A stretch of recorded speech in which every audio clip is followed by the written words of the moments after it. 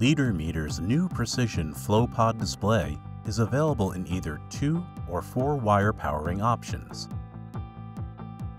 This new unit is fully HART7 compatible with a 4 to 20 mA output or transistor switch for alarm, pulse, or batch control. The FlowPod is certified in North America and Europe for use in hazardous areas. Because it is equipped with a removable memory card, setup data can be configured off-site and uploaded to the unit, reducing possible downtime. The stainless steel enclosure provides optimal corrosion resistance.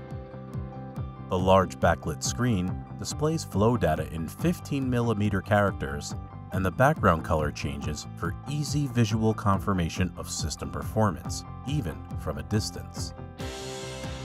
FlowPod from Litre Meter, outpacing the industry with custom flow monitoring solutions.